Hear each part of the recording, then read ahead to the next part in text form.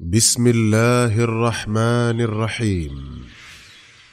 فتح المعين في تقريب منهج السالكين وتوضيح الفقه في الدين.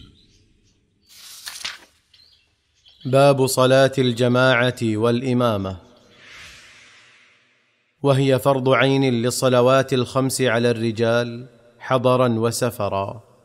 كما قال النبي صلى الله عليه وسلم لقد هممت أن آمر بالصلاة فتقام ثم آمر رجلا يؤم الناس ثم أنطلق برجال معهم حزم من حطب إلى قوم لا يشهدون الصلاة فأحرق عليهم بيوتهم بالنار.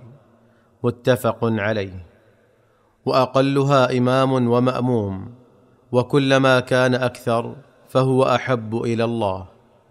وقال صلى الله عليه وسلم صلاة الجماعة أفضل من صلاة الفذ بسبع وعشرين درجة. متفق عليه. وقال إذا صليتما في رحالكما ثم أتيتما مسجد جماعة فصليا معهم فإنها لكم نافلة. رواه أهل السنن.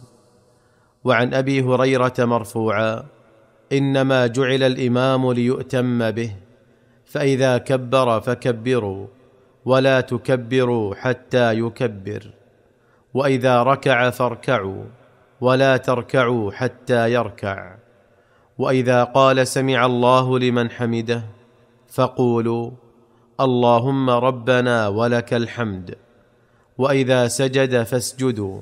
ولا تسجدوا حتى يسجد. وإذا صلى قاعدا فصلوا قعودا أجمعون. رواه أبو داود وأصله في الصحيحين. وينبغي أن يتقدم الإمام وأن يتراص المأمومون ويكملون الأول بالأول. وأن تصف النساء خلف الرجال. ومن صلى فذا ركعة خلف الصف لغير عذر أعاد صلاته. وقال ابن عباس صليت مع النبي صلى الله عليه وسلم ذات ليلة فقمت عن يساره فأخذ برأسي من ورائي فجعلني عن يمينه. متفق عليه.